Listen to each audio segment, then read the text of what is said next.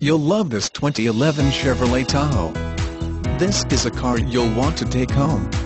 With 19,503 miles, it features automatic transmission and an exterior color of gold mist metallic.